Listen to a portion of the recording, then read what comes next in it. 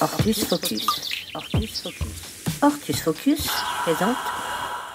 Les turicules, c'est les tours, c'est euh, les crottes de vers de terre qui sont remontées à la surface. Ce sont les, euh, les anéciques, les gros vers de terre qui font ces tours, ces crottes la nuit. Ils, se nourrissent de matière organique en surface, de feuillets d'argile dans le fond du sol. Ils mélangent ça dans leur tube digestif. Après, donc, ils font leurs crottes.